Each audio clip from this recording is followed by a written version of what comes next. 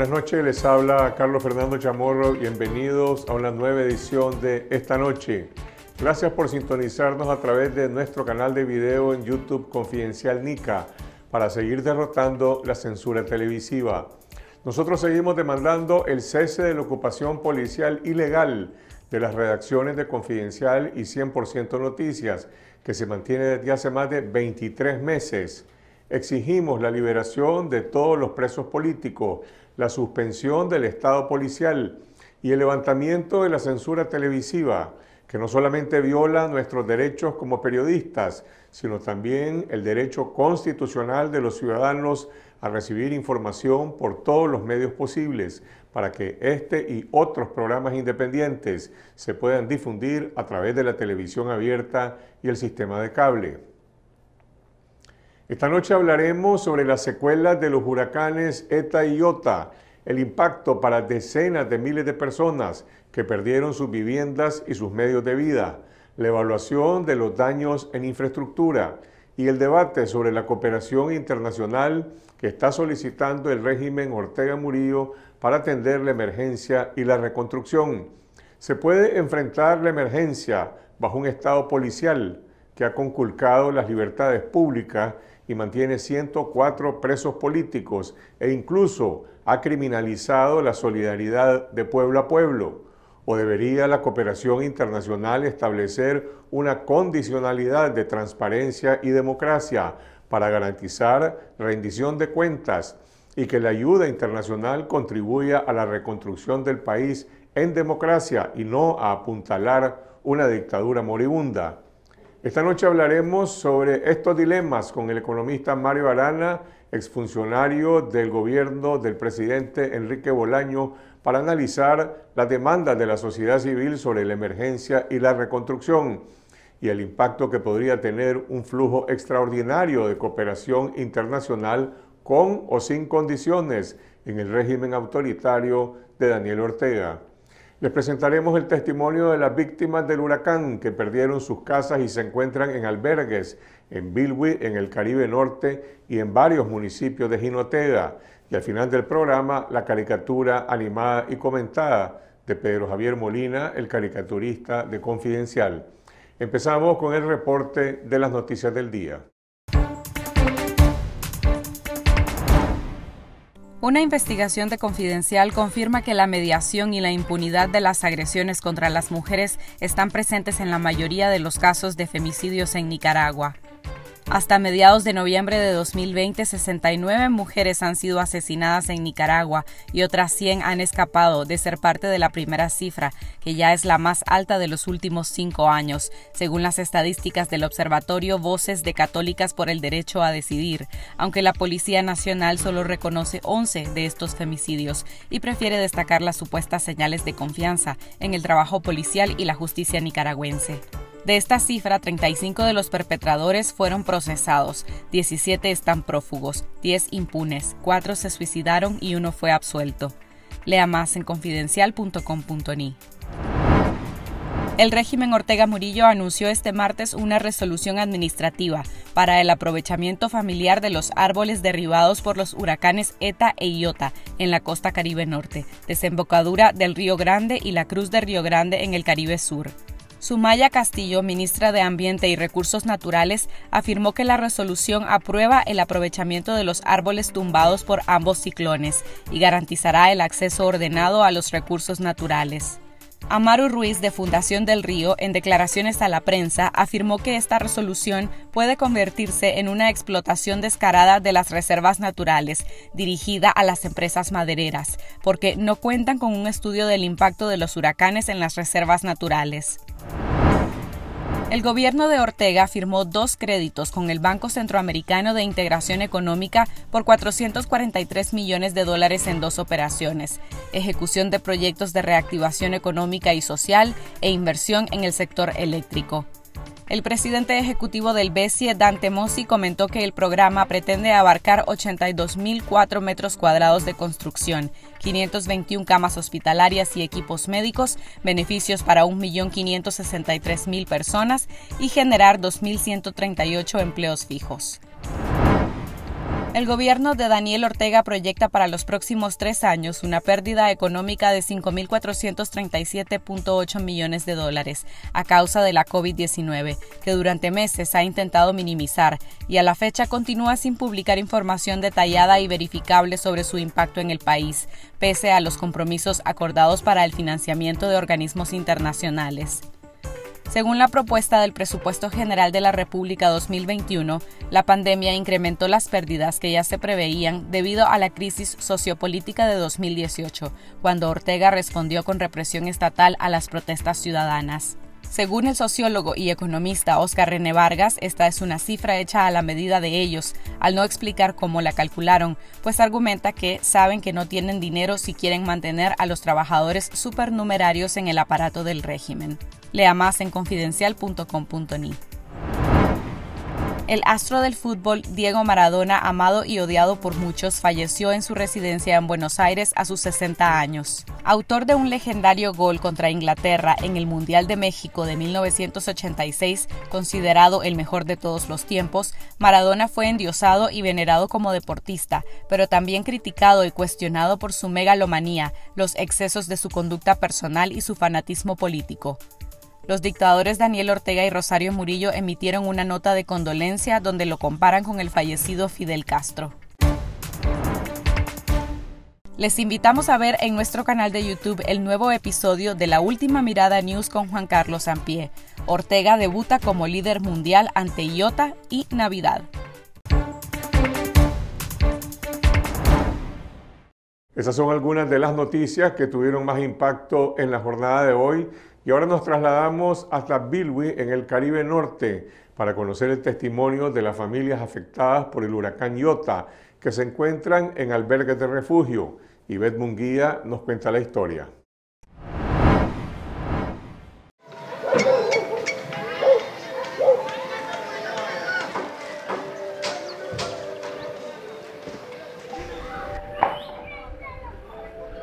Quedé en la calle, completamente en la calle. El mar se llevó todo, amor. Mira a ella, mira a la otra. El mar se llevó todo, amor. Completamente no tenemos dónde ir. Totalmente no tenemos nada ni para comer.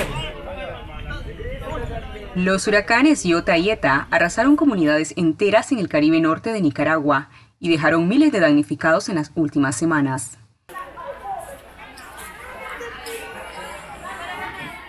Ellos dejaron sus casas para resguardar sus vidas mientras tenían la esperanza de volver el día después del huracán, pero Iota las destruyó.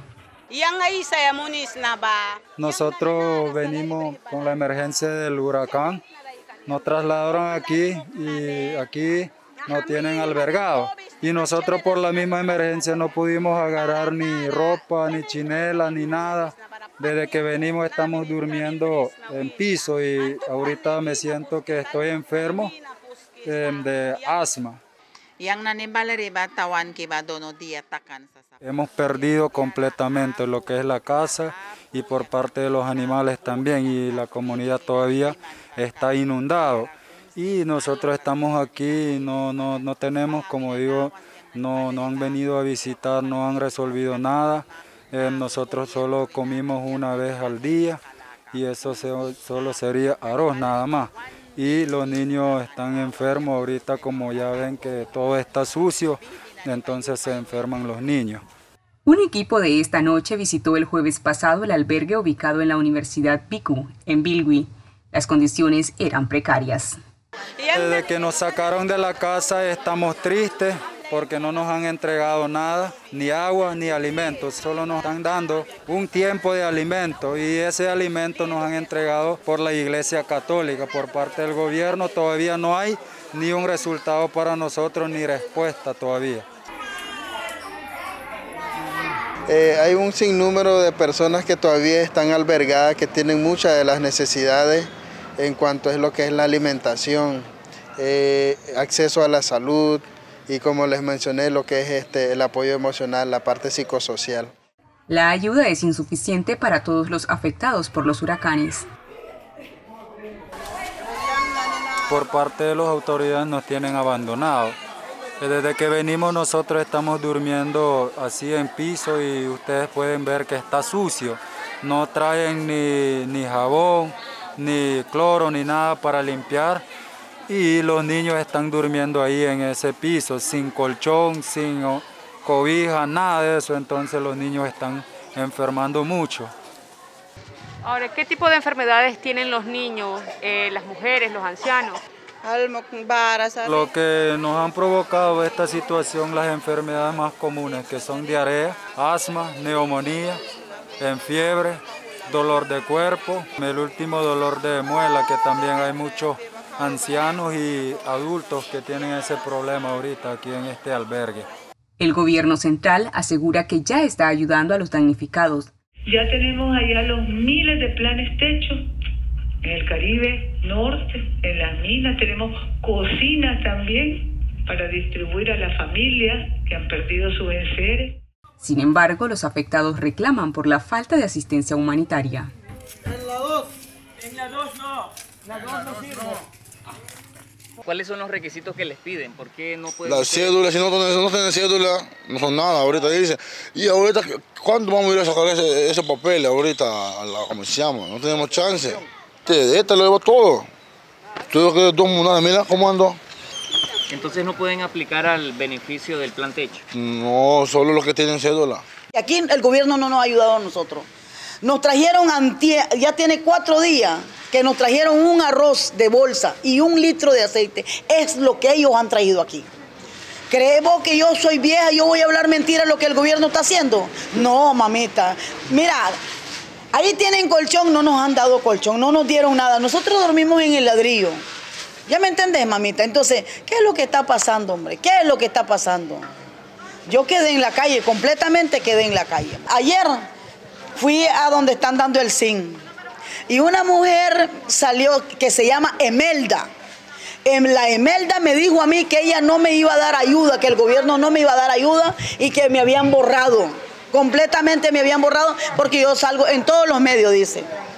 Ellos ponen censo a la hora llegada en su misma familia dan vuelta y agarran, agarran los cines y no nos dan a los que pusieron censo. Es tan injusto. Yo tengo niña chiquita y está durmiendo ahí afuera, mira. Y la casa está destruido todo de aquí, la casa. Vaya, mire si es mentira. Su casa eran buenos. Ellos mismos destruyeron para que le dieran cine. Y la casa que están destruidas no le dieron cine. Y por eso están haciendo huelga. Por eso estamos haciendo huelga. Porque tenemos todos los, todos los humanos, tenemos los mismos derechos que los otros. En Bilgui, la desesperación aumenta cada día que pasa. Nosotros no tenemos dónde ir. Aunque sea con los íngenes, aunque sea un poquito de petate pueden poner. Pero ni eso, eh, los que están durmiendo, bueno, se lo dan. Y al que no tiene, dice espere. ¿Cómo es eso? Hay mucha gente no tiene que comer. Niños que lo miras ahí, no tiene agua para beber. Mire ese gatito tan bonito. No tiene agua para beber, ni leche. Reales no hay. No hay trabajo. Todo desbaratado quedó en la historia. Puerto Cabeza está en crisis. Puerto Cabeza, el pueblo indígena tiene hambre.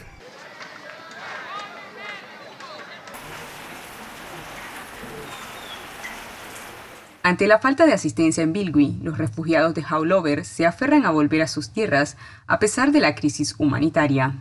Hay gente que eh, se resguardaron en los albergues y pues están retornando de manera voluntaria hacia sus viviendas porque eh, conocemos que los albergues también no prestan las condiciones necesarias para mantenerse una semana, 10 días, 15 días, un mes. Entonces eh, hay mucha situación aquí dentro del municipio actualmente. Muchas de las personas están conscientemente retornando a sus viviendas pues para tener un poquito más de condición. Condición sabemos que no la hay pues, pero eh, por el espacio, por, por aglomeración, por cantidad de personas que están dentro del albergue, también viendo ellos un poquito sobre su seguridad, ¿verdad? En cuanto a las enfermedades que se puede llegar a, a proliferar van a volver acá aunque no haya nada o van a permanecer en el albergue donde están? No hay condición, esa es una escuela para mientras nos prestaron. Entonces, de allá nos sacan, no tenemos familia en Puerto también, no sabemos dónde nos va a quedar en el espacio. Nosotros queremos agua y comida. Y después plástico y no carpa puede ser una champita, porque los niños van a venir. Porque está sufriendo en el puerto cabeza. Ya quiere venir, dice que no puede aguantar ahí. Aquí no hay comida, no hay nada, pero papá dice, llévame. Los huracanes Iota y Eta también acabaron con los medios de trabajo y subsistencia de esta población empobrecida. Yo vine especialmente a buscar mi motor, que tenía un motorcito, y se me perdió. Y todos mis trasmayos, todito, toditos, no tengo nada, me quedé así en el espacio.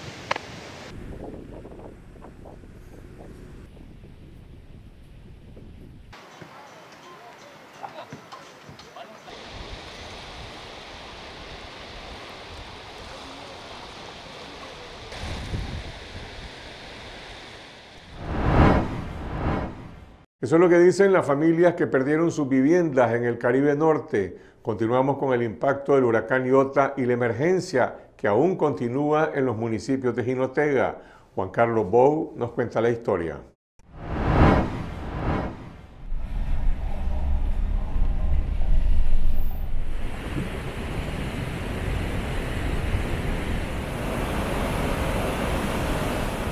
El huracán Iota provocó la crecida de ríos y deslaves en las montañas de Jinotega, que dejaron a centenares de familias sin viviendas.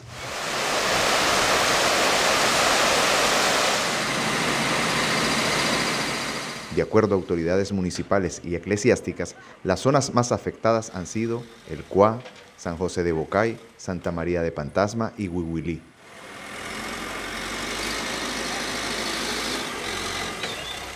Mi situación pues bastante difícil, ¿verdad? Porque eh, mi casita pues el techo la levantó el viento una parte, eh, está mojado totalmente adentro, ¿verdad? Eh, y mi situación es que estoy solo, ¿verdad? Con mi niño ya tengo como un mes de, de estar cortado y yo no puedo trabajar así, tengo seis niños y mi esposa está en el centro de salud también esperando, ella está preocupada por los niños. Nos confiamos por el primer huracán que no había hecho casi nada, pues habíamos, la vez pasada habíamos sacado algunas cosas y esta vez nos confiamos y sacamos ciertas cositas, pues, la de los niños nada más.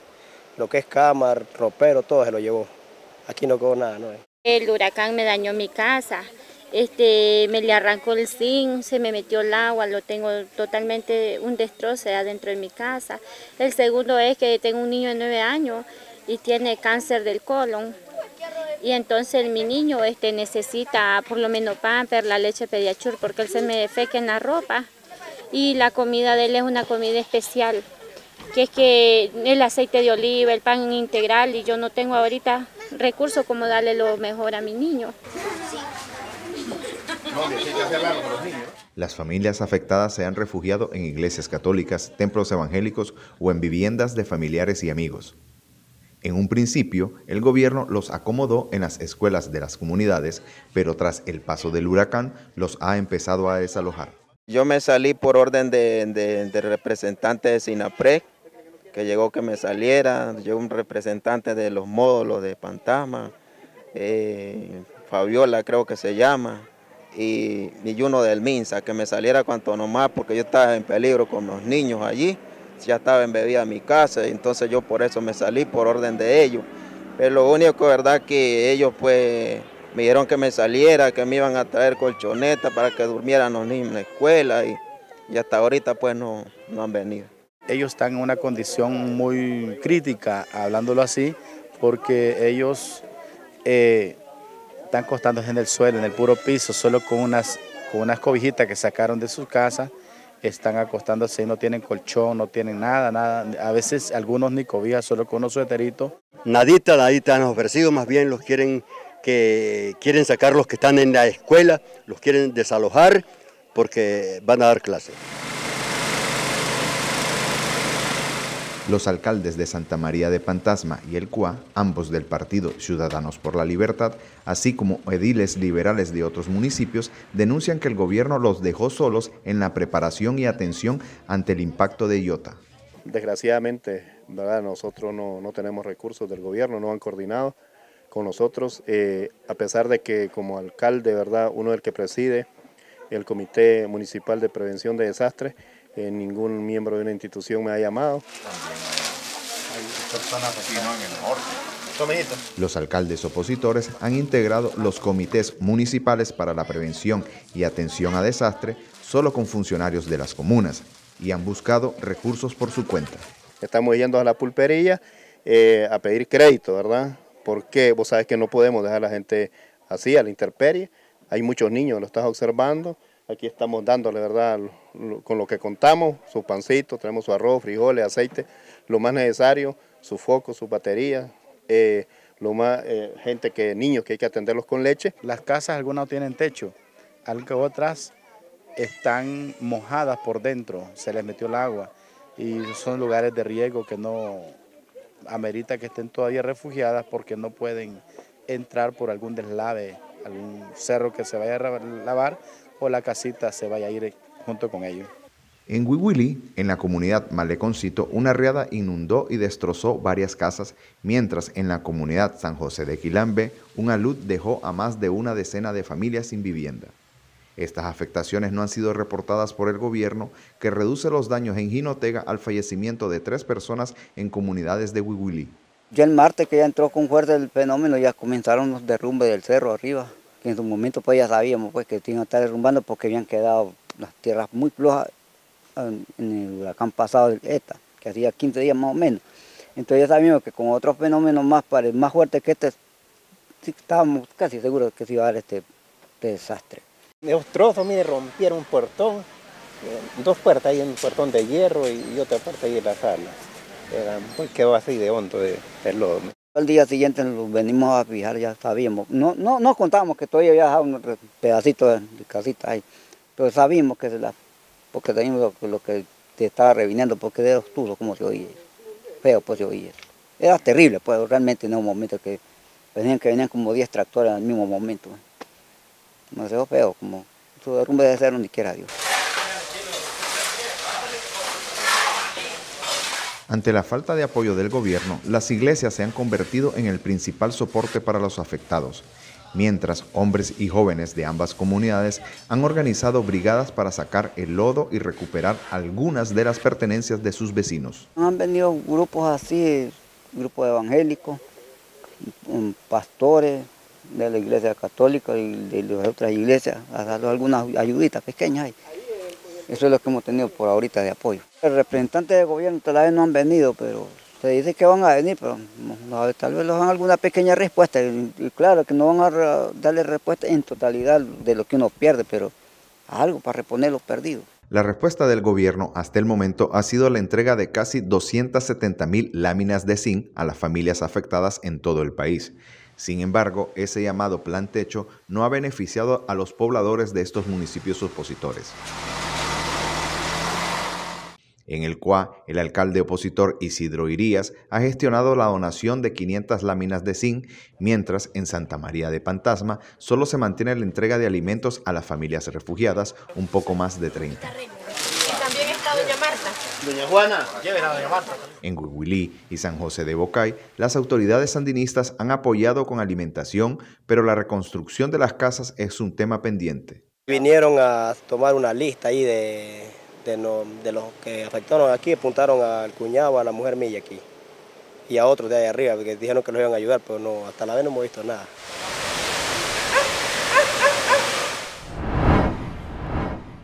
Eso es lo que dicen los damnificados del huracán Iota, donde los alcaldes que no son del partido Frente Sandinista reclaman que esos municipios y la población están siendo discriminados por razones políticas por el régimen. Continuamos con el economista Mario Arana y el debate sobre la ayuda internacional para la emergencia y la reconstrucción cuando el país está sometido a una dictadura. La justicia social significa tener acceso al trabajo digno, salud, educación, para reducir la desigualdad económica y se disminuya la pobreza. Se trata de que todos seamos iguales ante la ley y tengamos los mismos derechos y oportunidades. Nueve pilares de la democracia.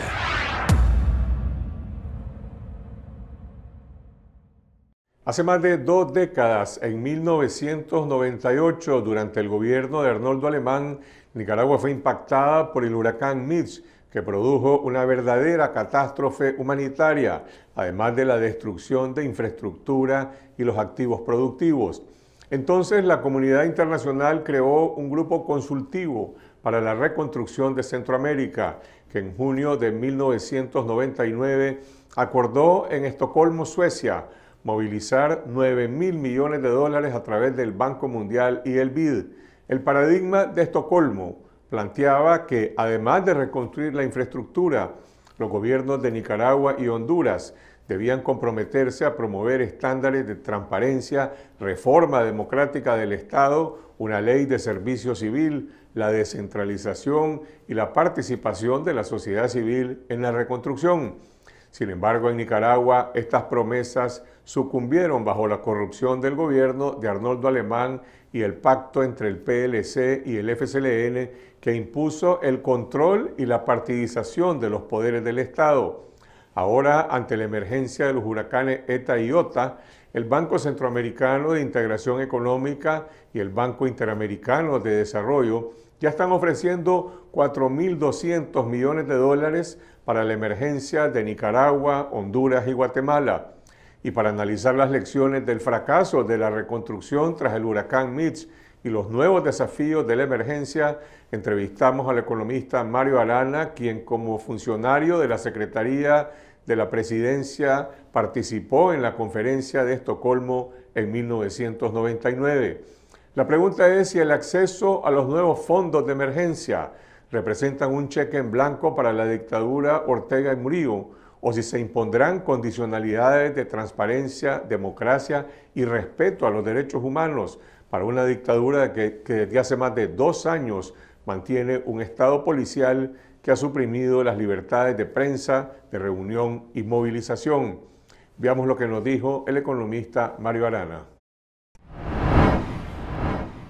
Mario, esta primera oferta de 4.200 millones de dólares del Banco Centroamericano, el BID y el Banco Mundial para la emergencia de Nicaragua, Honduras y Guatemala, ¿es un cheque en blanco para la dictadura de Daniel Ortega o tiene condicionalidades democráticas?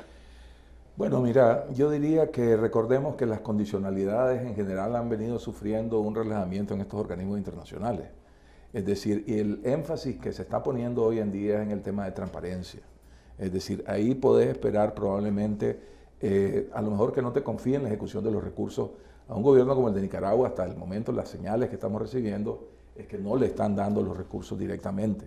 Es decir, ha sido el caso del BID, está siendo el caso del mismo BESIE, ¿verdad? O sea, esos últimos 300 millones que se aprobaron este año para el BESIE, es decir, se van a ejecutar a través de la UNOPS, ¿verdad? Es decir, a través de organismos de Naciones Unidas fundamentalmente, que tienen que ver con todo el manejo de las licitaciones, de las contrataciones, eh, que las hacen ellos, pues, ¿verdad? Es decir, entonces, eh, lo que se está viendo en el caso de Nicaragua es de que ha habido una pérdida de confianza, digamos, es decir, en la habilidad, capacidad del manejo de los recursos, es decir, eh, preocupación porque no se politicen y se esté expresando a través de mecanismos de intensificar todo lo que es básicamente la rendición de cuentas y el control, ¿verdad? Y en este caso, esencialmente dándole a agentes especializados la ejecución de los recursos y no directamente al gobierno. Y habría de imaginarse que algo parecido va a pasar con estos fondos y estos organismos para reconstrucción. Pero, por ejemplo, para tener una referencia, este reciente préstamo que está otorgando el Fondo Monetario Internacional de 183 millones de dólares, que es para la emergencia de la pandemia de la COVID-19, obliga al gobierno de Nicaragua, por ejemplo, a publicar, a divulgar, a transparentar las compras que está haciendo eh, para el Ministerio de Salud y por el otro lado hay una parte de este fondo que lo administran eh, otras instituciones. Sin embargo, no dice nada, por ejemplo, del problema real de la salud pública, es decir, la OPS ha reclamado que no tiene confianza en las estadísticas, en la información que brinda el Ministerio de Salud. Nadie sabe cuántas pruebas se han hecho. Nadie sabe realmente cuál ha sido el nivel de mortalidad que ha ocurrido en Nicaragua y la OPS dice el gobierno de Nicaragua no nos permite hacer una visita al país y hacer una evaluación a fondo. Ahora viene el Fondo Monetario y le da a Nicaragua 180 millones de dólares completamente desconectado de esa demanda de este organismo internacional de la salud. Bueno, hay varias cosas que ver acá. En primer lugar, la OPS sí fue muy importante en la, fase de preparar a Nicaragua para poder hacer pruebas, para tener una política de manejo del COVID, que no se hizo nunca muy pública por parte del gobierno, es otro problema. Ellos hicieron su tarea. Y después, si te recordás, y han venido consistentemente dando conferencias, donde le han venido reclamando públicamente al gobierno información, información que aparentemente efectivamente no le han dado. Y yo creo que ahí probablemente lo que puedes leer es que hay una tensión y que esa tensión está teniendo algunas probablemente consecuencias de, una cierta ignorancia, pues, ¿verdad? O digamos marginación del organismo, aunque no obstante, si te fijas, la ejecución de los recursos eh, del, BID eh, van a hacerse a través de la, de la OPS, a una parte de los recursos van a través de la OPS. Entonces, aquí hay un cambio, digamos, en cómo se está operando eh, y en la región, en realidad, lo que ha habido es un movimiento hacia fortalecer todo lo que tiene que ver con supervisión, control de los recursos, rendición de cuentas, o sea, el tema de lucha contra la corrupción para ponerle de otra manera, muy frontal en varios países de Centroamérica y probablemente eso es lo que va a implicar esta, esta relación con estos nuevos recursos que pudieran venir hacia la región. O sea, no van a estar ausentes de un control de ese tipo muy fuerte, por un lado, hay que anticipar eso. Pero por otro lado, probablemente en los países donde no hay tampoco necesariamente la mejor o mayor confianza entre la cooperación eh, y el gobierno, posiblemente va a haber ejecución como en el pasado, a través de agencias especializadas, que no es el gobierno necesariamente, ¿verdad? como UNOPS, OPS, PMA, este, o este, la, misma, eh, bueno, en fin, organismos de Naciones Unidas en general.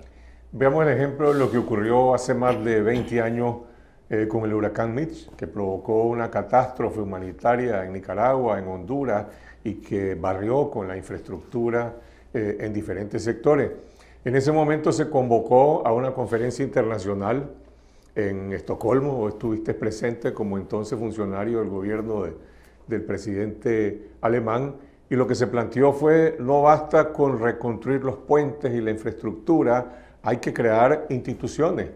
Y esa conferencia eh, se comprometieron los gobiernos de Centroamérica, de Honduras y Nicaragua, por ejemplo, a la reforma del Estado, a la transparencia, a la creación de una ley de servicio civil, a la participación de la sociedad civil, a la descentralización del Estado. Y en Nicaragua todo eso fracasó por la corrupción por una parte y por la otra por el pacto de Alemán Ortega. Entonces, bueno, estamos ahora ante otra emergencia y pareciera que la película que ya vimos y ya sabemos también cuál es el final. Bueno, pero contemos un poco bien la historia. Entonces yo trabajaba por un organismo internacional y estaba coordinando la estrategia de reducción de pobreza para lograr la condonación de la deuda externa, ¿verdad? Eh, y efectivamente se pusieron una serie de condicionalidades. Al principio no importaron y hubo mucho desembolso de recursos, e inclusive tuvo un cauce en el crecimiento económico. Nicaragua llegó a crecer a más de 6%, pues producto de esos recursos que se invirtieron a final de cuentas en cierta infraestructura, pues de carretera, eh, con, con, una visión muy futurista, pues es decir, que pudiesen eh, soportar inclusive condiciones más adversas en el futuro, inclusive, ¿verdad? Pero eventualmente eso se secó, se secó y para el final del gobierno de Alemán, en realidad ya no había confianza en el país y prácticamente el desembolso de recursos se había parado. De, tal manera que se dé el cambio al presidente Bolaño, y el presidente Bolaño, si te recordás, el primer año le decía a todo el mundo, el, gobierno no arranca, no arranca, ¿verdad? Es decir, y, muchos nunca comprendieron realmente lo que pasó, pero al, gobierno de Bolaño, contrario a lo que yo esperaba, que iba a haber credibilidad por su trayectoria y su historia, en realidad le, dijimos, pagamos, le dijeron pagamos por ver. Y entonces le dijeron, ustedes son un desastre macroeconómico, ustedes son un desastre desde el punto de vista de corrupción y ustedes son un desastre en materia de gobernabilidad y de institucionalidad. Corrijan eso o francamente pues no van a tener recursos. Y realmente tomó la lucha contra la corrupción que llevó a la ruptura dentro del Partido Liberal, es decir, por otro lado pues se enfrentó el tema de la institucionalidad y la participación de las instituciones y finalmente un programa de ajuste severo que le costó al país, que le costó a la gente de Nicaragua, porque no crecimos. En el primer año, estamos hablando del, 2000, del 2002, y tomó entonces hasta el 2000 seis que realmente recuperamos tal confianza que recibimos el pico de recursos externos que Nicaragua hubiese recibido eh, en ningún momento de su historia. Y se le dejó a la siguiente administración la mesa servida, que te recordás que también se dijo, ¿verdad? Con una gestión de recursos muy, muy efectiva. Entonces, estas acciones, estas faltas se pagan. Y realmente la responsabilidad de un régimen o un gobierno es evitar que eso ocurra, es manejar estas cosas bien, de tal manera que el país siempre gane y no pague costos como los que hemos tenido que sufrir en el pasado. Volvamos al momento en que estamos hoy, después de tres años consecutivos de recesión económica, una crisis política eh, que se ha agravado con un Estado policial que ha suspendido por la vía de hecho la libertad de reunión, la libertad de movilización, la libertad de prensa. Hay censura contra los medios de comunicación. ¿Puede la comunidad internacional eh, trasladarle a este régimen los recursos en esas condiciones? Bueno, es decir, es posible que lo haga y porque el país en, en realidad lo necesita. El daño sufrido por estos dos huracanes es muy fuerte, verdaderamente. Y encima de eso tenemos dos años de recesión más un año de COVID. Entonces este es un país pues muy sufrido. Y lo más probable es que la misma comunidad internacional no quiere un país inestable también, porque esto es lo que te lleva a mucha inestabilidad potencial mayor de la que ya tenemos. Entonces, eh, lo más probable es que sí va a fluir esa cooperación, sí es correcto que fluya, pero probablemente van a tomar medidas muy estrictas de cómo se desembolsa y lo estamos viendo. No hay aprobaciones de, de, préstamos nuevos a Nicaragua de ninguno de los organismos internacionales, con excepción del fondo por primera vez ¿verdad? En estos tres años, que es una cantidad, una fracción de lo que se solicitó, por un lado, ¿verdad? Y parte de ella condicionada porque la tiene que ejecutar eh, organismos pues, especializados de Naciones Unidas, ni siquiera es para el gobierno directamente. Posiblemente el resto de la cooperación va a venir así. Se le va a pedir a UNOPS, que es un organismo que ejecuta inversiones, ¿verdad? Es decir, se le va a pedir probablemente al PMA, se le va a pedir a la OPS, a como ya ha venido haciéndose que ellos sean los ejecutores y los que controlen eh, los recursos. Es decir, y ese, digamos, es la consecuencia del de el accionar eh, que, estamos viendo. Ahora, eso no resuelve el problema, digamos, de la vulnerabilidad macroeconómica que hemos venido acumulando, porque cada vez los déficits fiscales o los déficits en general del Estado son más grandes. Este año estamos hablando de más de 6 puntos del Producto Interno Bruto, son más o menos 700 millones de dólares. ¿Verdad? Que nadie te está dando recursos frescos para financiarlo. Y eso eventualmente te puede reventar y de manera fea, pues, ¿verdad? Es decir, este, entonces lo dejo como algo que hay que tener en el radar. Pero si no hay condicionalidades sobre la carencia de un Estado democrático en Nicaragua que de alguna manera obliguen al régimen de Ortega y Murillo a restablecer las libertades democráticas, a restablecer la transparencia, la libertad de prensa, pues pareciera que Ortega se está sacando la lotería en medio de la tragedia que está viviendo el país en esta doble emergencia. Va a recibir recursos y por el otro lado va a mantener el Estado policial. Bueno, es que por eso puse el tema macroeconómico sobre la mesa. Porque en realidad ese es el eje de presión que le queda a los organismos internacionales. Y los organismos internacionales no están siendo neutrales. O sea, yo creo que ya le han dicho a Nicaragua lo que piensan de lo que está pasando, o los países que son los que están detrás de estos organismos han sido muy claros, tanto la Unión Europea como los Estados Unidos, ¿verdad? O sea, si este gobierno no entiende eh, ante lo que está, pues, o sea, es decir, más bien no quiere o no ha querido actuar consecuentemente, ¿verdad? Está sufriendo las consecuencias, porque como te digo, el tema de flujo de recursos frescos, que es muy distinto de los recursos atados a proyectos, a reconstrucción y que no va a ejecutar el gobierno probablemente. Es decir, hay, que separarlo. Entonces, el problema que este gobierno tiene de cara al país también y de cara a su propia legitimidad eh, tiene que ver con, digamos, esa vulnerabilidad macroeconómica, tiene que ver con la falta de acceso a recursos frescos, tiene que ver con que cada vez se le está poniendo la deuda más difícil de manejar, de sostener, porque ya pasamos el umbral del 50%, porque estamos adquiriendo deudas más caras es decir, con lo que está financiando con cierta flexibilidad todavía, por ejemplo, por el BESIE, es una deuda mucho más cara pues, que la que podías obtener con el Banco Mundial, el BID. Entonces los países le están hablando claro a Nicaragua, tanto la Unión Europea como eh, los Estados Unidos. Es decir, es distinto, no son los organismos, porque a los organismos se les atacó mucho por estar metidos en demasiadas condicionalidades, etcétera. Pero sí tenés a los países que están encargándose de hacer el trabajo. Y te van a pedir medidas bien estrictas para control pues, de corrupción que pudiese haber y definitivamente la ejecución de esos recursos no la veo en manos del gobierno, sino la veo en manos de eh, organismos especializados.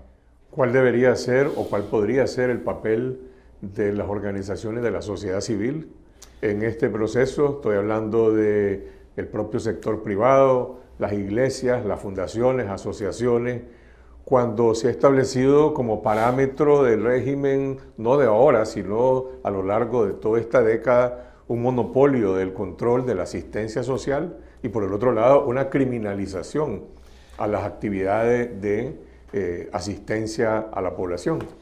Mira, para la envergadura de las acciones que hay que hacer, estos organismos especializados solo no lo pueden hacer. Y posiblemente bien harían en realmente trabajar con los actores que han tenido una historia, pues, ¿verdad?, en, este, en el país de apoyar todos los temas humanitarios, pues, ¿verdad?, es decir, ahora y desde siempre.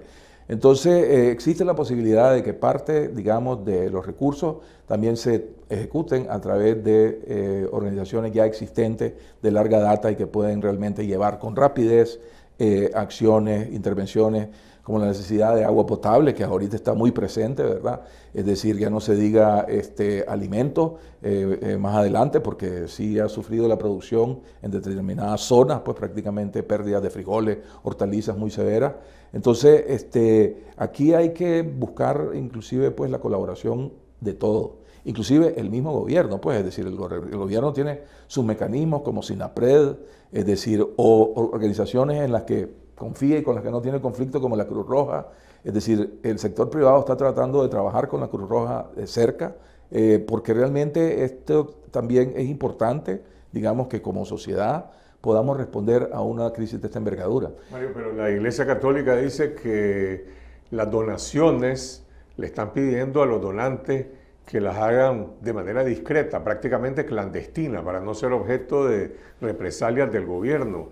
Y por el otro lado, las alcaldías, que no son del Partido Frente Sandinista, están reclamando de que están siendo objeto de discriminación y por el otro lado de abandono por parte del gobierno central no, no solamente la, municipalidad, sino la población de esas alcaldías, simplemente porque no son del partido gobernante. Bueno, efectivamente, es decir, es algo que hay que decirle a estos organismos, a estos países, en realidad que tienen que ver con Nicaragua, de que se aseguren que esa politización no se dé, en realidad, porque no tendría por qué darse. Sí tenemos informes de que hay politización y que hay discriminación, es decir, que solo se le apoya a aquel que tiene vínculos con el gobierno o que alcaldías, es decir, se, son dejadas por fuera.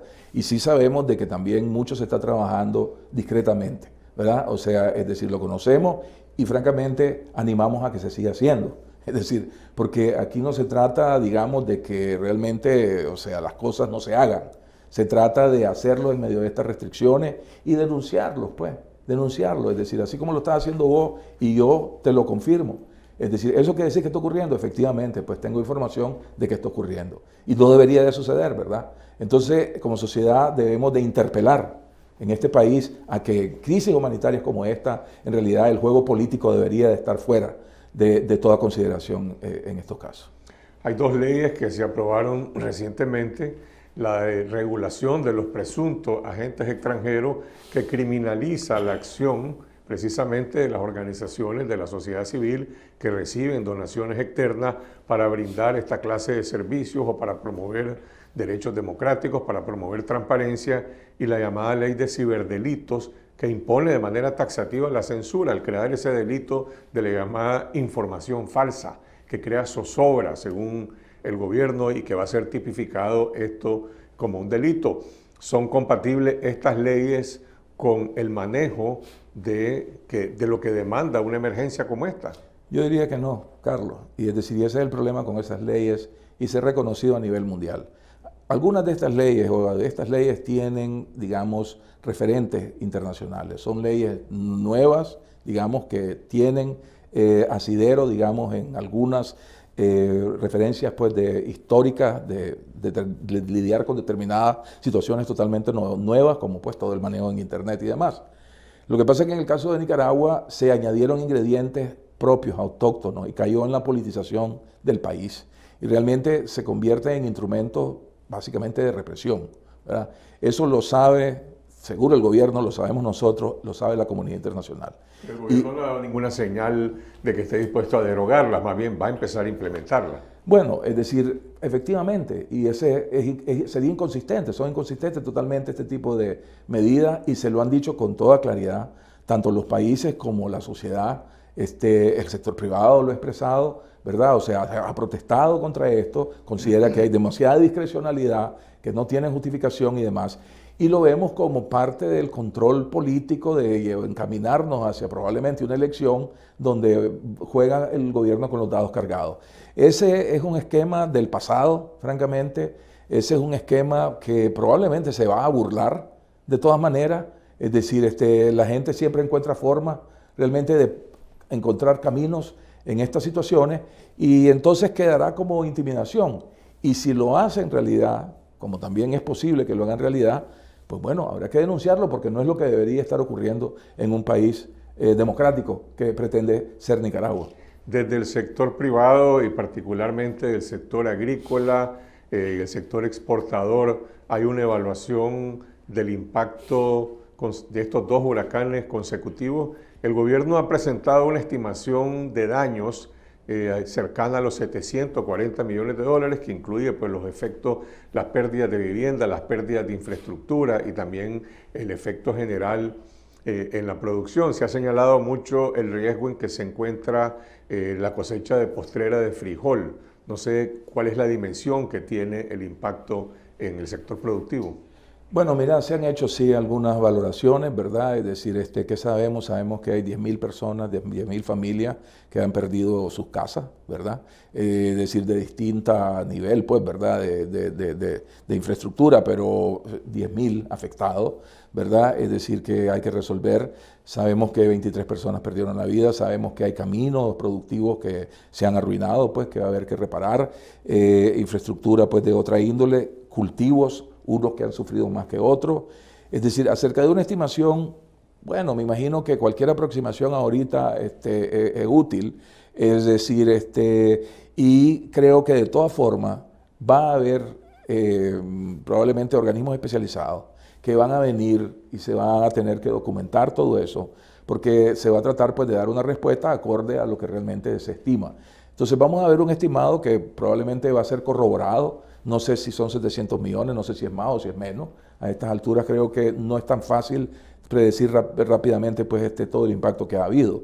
Eh, pero sí es un impacto de envergadura, es un impacto de envergadura sin duda y sí requiere definitivamente colaboración, cooperación internacional. Ahora, en este momento estamos meramente ante una emergencia o acaso hay una visión de reconstrucción democrática del país o se va a terminar fortaleciendo la dictadura de Ortega con esta emergencia? Buena pregunta, Carlos Fernando. En realidad, estamos en una emergencia, no hay duda, y en una etapa de emergencia que hay que dar atención inmediata y agua y alimento es más importante que cualquier otra cosa a estas alturas, por ejemplo, podemos decir. Pero eventualmente hay que pensar en una reconstrucción. Ahora, este país, en la medida que también se reconstruye políticamente, va a tener viabilidad económica.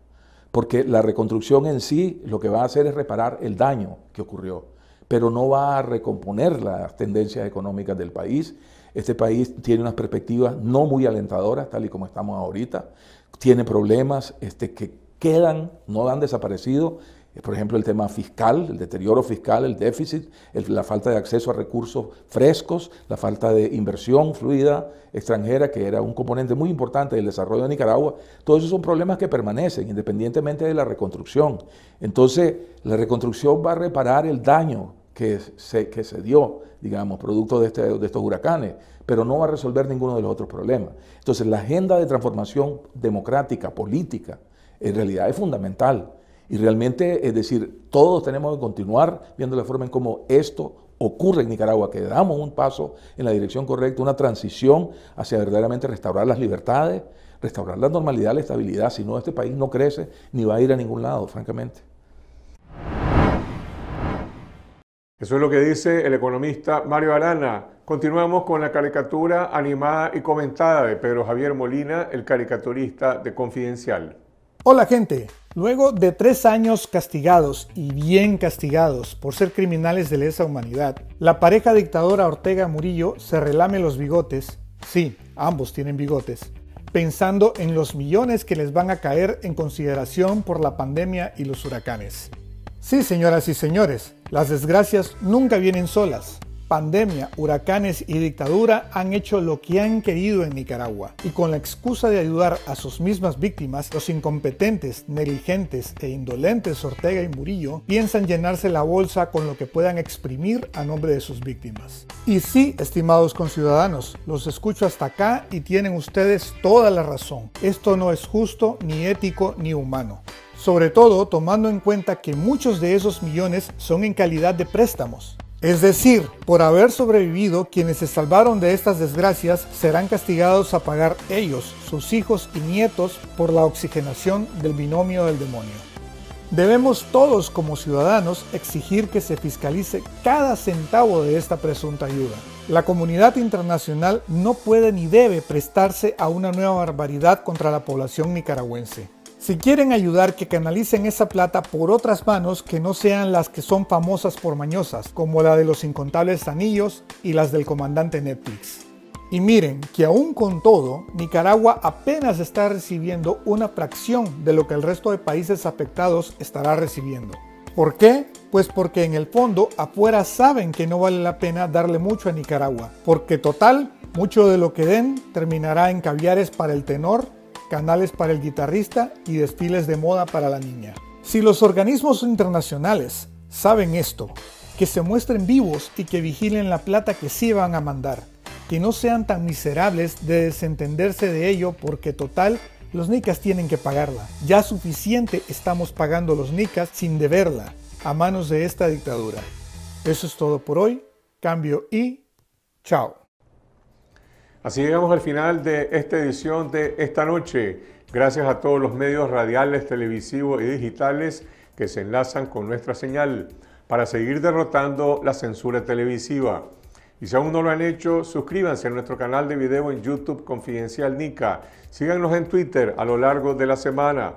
Y si desean recibir todos los días información verificada con las alertas noticiosas de Confidencial, los invito a suscribirse de forma gratuita al número de WhatsApp 8577 1820. Nos vemos el próximo domingo en esta semana, siempre a las 8 de la noche. Buenas noches.